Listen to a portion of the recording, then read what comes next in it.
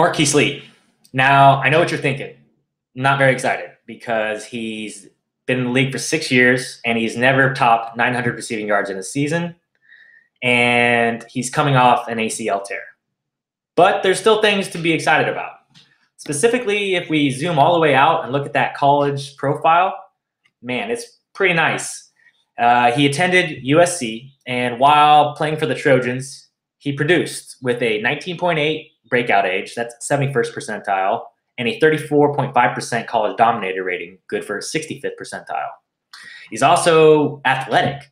Um, he's got a catch radius of 101.8, that's 81st percentile, and a 10.97, 78th percentile agility score. The dude can move.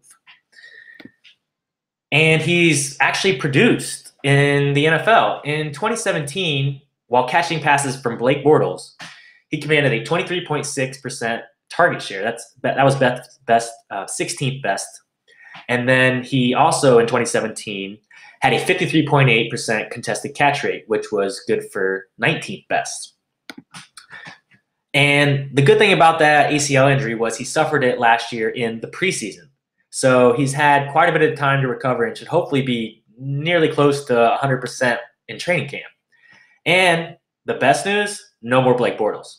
Yes, he gets to catch passes from Nick Foles this time. And really, outside of Dede Westbrook, there's not that much competition. So you could definitely do worse than snagging Marqise Lee late in the late rounds of your fantasy drafts. And if you want even more information on him, you should check out Sean Spiegel's uh, blurb on him in the draft kit. Check it out.